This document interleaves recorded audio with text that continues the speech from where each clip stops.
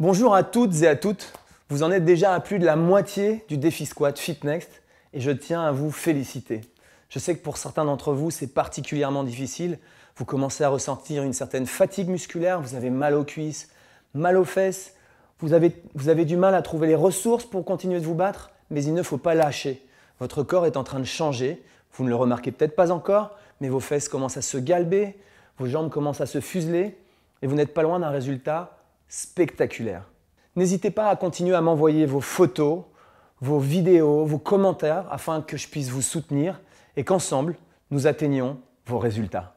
À très vite sur le défi squat.